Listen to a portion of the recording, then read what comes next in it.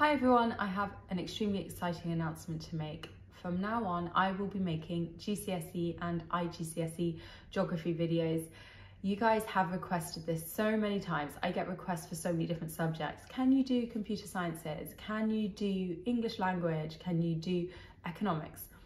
Well, I feel like these things are outside of my remit of expertise. However, GCSE and IGCSE geography, I spent the last month picking through the specifications, reading textbooks and as we know there's a huge overlap with biology and I do finally feel confident that I can do an equally good job on this subject. A-level and IB chemists and biologists, please don't worry, we will still have you covered. We'll still be looking to make those all-in-one videos that I know you so desperately want.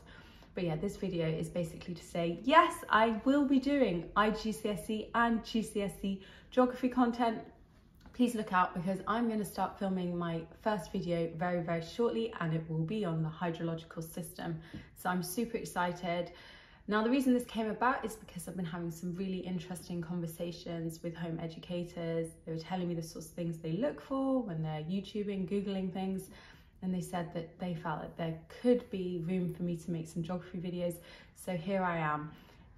We are super open to communication. So please, please, please do put in the comments below what sort of things you'd like to see, what kind of offerings. Remember, we're doing tons of workshops, so do message us at hello at sciencewithhazel.co.uk if you want to be part of the mailing list so you can see what's going on. We've got lots of interesting blogs and mailers coming. So yeah, stay in touch, come follow me on Insta and together we can do this.